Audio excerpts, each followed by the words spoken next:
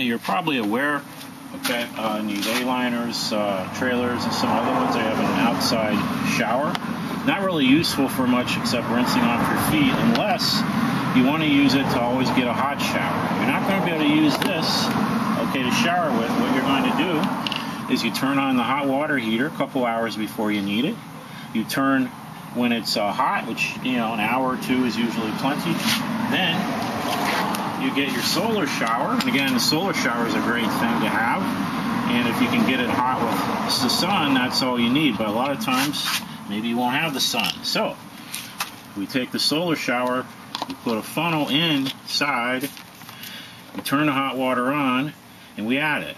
Now, we don't need to use fill the whole bag with hot water. Have this bag filled about halfway with whatever water temperature it's at three quarters just depends on how cold or cool the water is okay? Take a little dump a little water out. If it was full add your really hot water in here and you will have a hot shower even on cloudy days. So that works like a charm. Should always have a hot shower.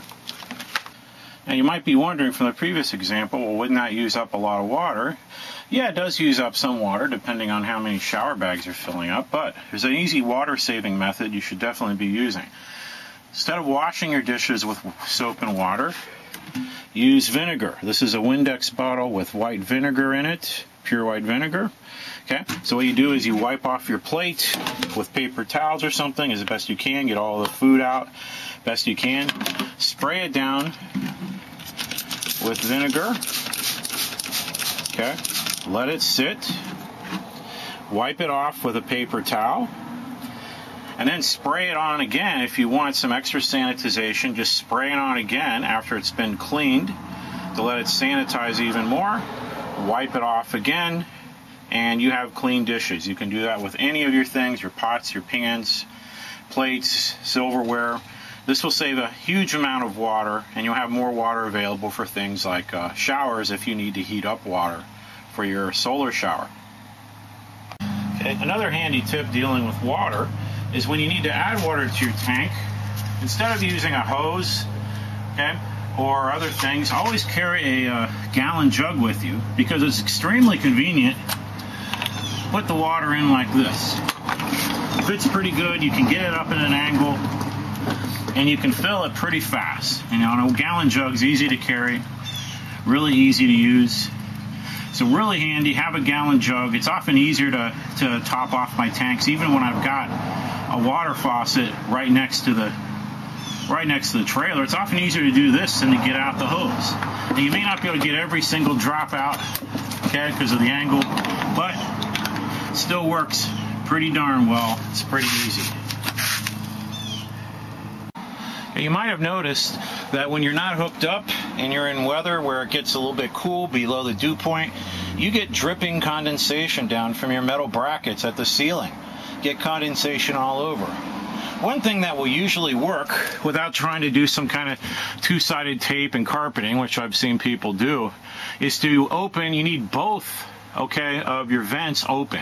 If you only have one of them open on one side, that usually won't do it. You need them both open to allow the warmer air to rise and get out.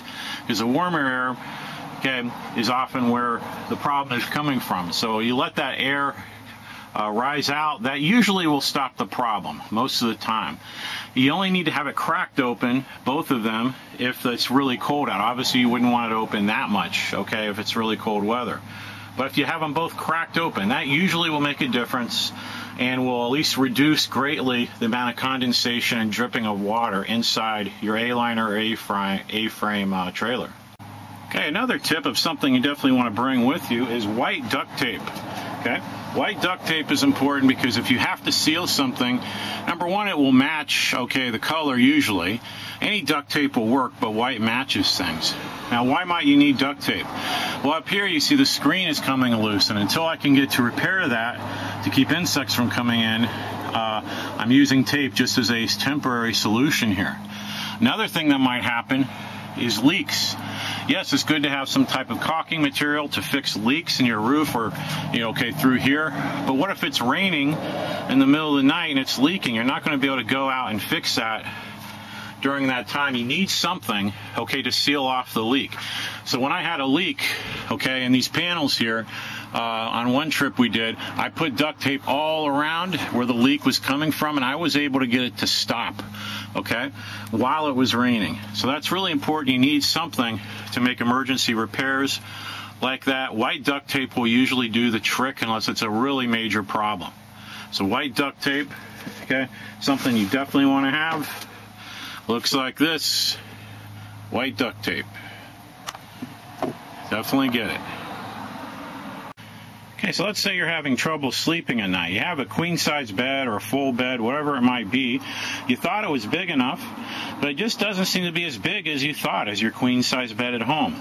The reason for that is even if the dimensions of a bed like this queen size in this trailer are about the same as a regular bed, problem is you have less elbow room, okay? You're cut off over there, you have no elbow room over here. So in actuality, you have several inches less room, and that might cause a big difference in being able to sleep comfortably. So what do you do? Well, you do what tent campers do. So this would go for any bed in any RV you switch the position of the heads. So this is what my wife and I do. So you have one head on this end, the other end on that end. May not be as intimate, but if you want to get a good night's sleep, that might be what's needed. Because now all of a sudden you have much more room, okay, at your elbows. You don't have both shoulders on one side of the bed, and that creates a lot more room, okay, when you do that. So if you're having trouble sleeping, don't feel like you have quite enough room, this is definitely something that might make a big difference. Speaking of sleeping, what if you're having trouble uh, with noise, okay? Somebody's snoring or outside noise or uh, you're afraid your dogs are going to bark, okay, while you're gone for the day and they're going to disturb people. Here's a nice little gadget, a noise machine from Homedics, okay? Turn it on, I like to use the white noise at night so that white noise at night is similar to the air conditioner running, and the air conditioner running will do the same thing. But that can often make a big difference in people being able to sleep. You can also use some of the other ones. Okay, there's rain, brook. So if your dogs, uh, you're afraid are going to bark if you're leaving dogs during the trailer while you're out on an excursion, this might be enough, okay, to uh, keep them from hearing certain noises and barking and everything if you have barkety dogs. So again, another tip or trick. Speaking of sleeping, okay, anybody who's been in a small trailer or a tent has experienced this. Mother Nature calls in the middle of the night. It's dark outside. The bathroom's far away. It's cold. There's bugs. You don't want to go outside. So what do you do? Use urinals. Okay. Now you can buy pre-made urinals. Okay, like the red one here. Okay, it's pre-made, has a little handle on it. I often find though that Gatorade bottles, at least for men, work really well. They're very heavily constructed, have a wide enough mouth, and these work, I think, even better. Okay, you just gotta be careful you don't drop it. There's no handle on it. I haven't dropped one yet though. For women, you have a different problem. So this is, uh, you may want to order something like this. This is a female urinal, okay? And my wife, since there's no lid that comes with this, she just stuffs a paper towel right on the top to seal it off to prevent the smell. So this is a real handy uh, tip to use because uh, that is an issue for almost anybody who's camping, okay, uh, who normally has to go to the bathroom middle of the night. Uh, that's usually going to happen. So this will work really well. Okay, now this will go for all RV owners. Do yourself a favor. For most of us, an AGM battery is the way to go. This is a Duracell AGM I had installed. The reason it's better than going with a regular deep cycle battery, most of us are not used to maintaining batteries you know, adding water, checking fluid levels. Most of us don't do that. We're not in the habit of doing it, and we're going to forget, even if we know we're supposed to. We're going to forget, and the battery's going to die an early death.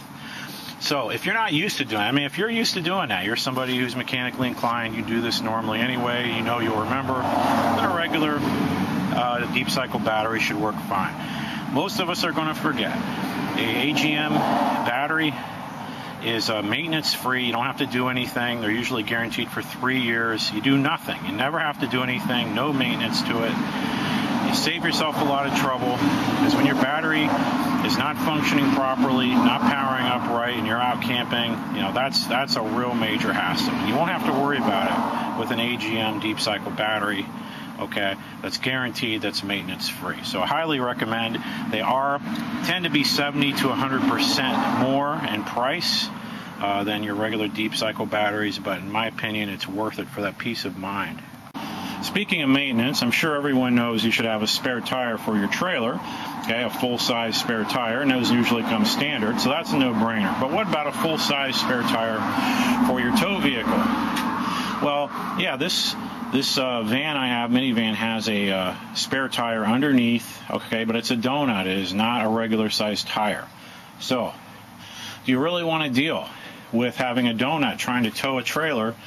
Uh, and get to a place to get the tire replaced when you're out camping trying to have fun? Or would you rather have a full size tire that you can pop on and keep going and get the other get the tire fixed when you get the chance?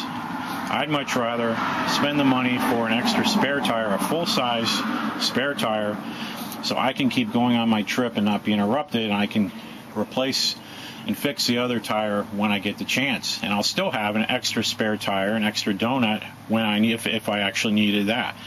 So yeah, it's cost some money, okay, but as far as I'm concerned, it's well worth it um, because you don't have to interrupt your trip. It's much less inconvenient.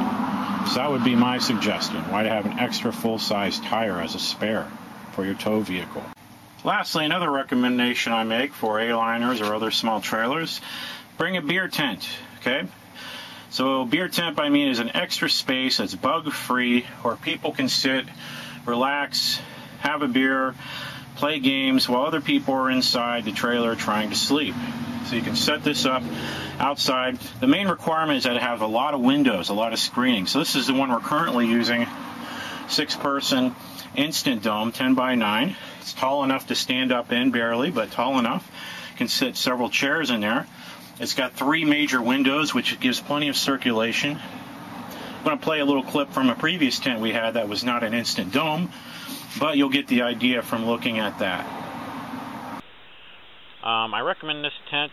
Uh, we've used it lately mainly as a, uh, screen house for our RV. But uh, we've also uh, used this tent to sleep in. And uh, if we have extra guests, like if my son brings his friends, and they will sleep in here because we don't have room in the Aliner for more than three people, really. Uh, what I really like about it, again, is the ventilation. You have these big, huge windows on all four sides and really provides a lot of great ventilation. And uh, this tarp has worked really well. Uh, we had a lot of rain the last two days here, and it, it stayed very dry in there. I mean, it was we had downpour after downpour, and it stayed dry in here. So this this tent has worked well. It does have a little E-port, but we never use that. You see it's pretty roomy. Room enough for about for three chairs in there. We usually put a piece of carpet down. We use our Luggable Loo in there as a little table. Okay, well, I hope you found uh, this video helpful. I'll put the links to some of the Amazon products that were featured in this video in the link description box below if you're so inclined to support the channel. See you later.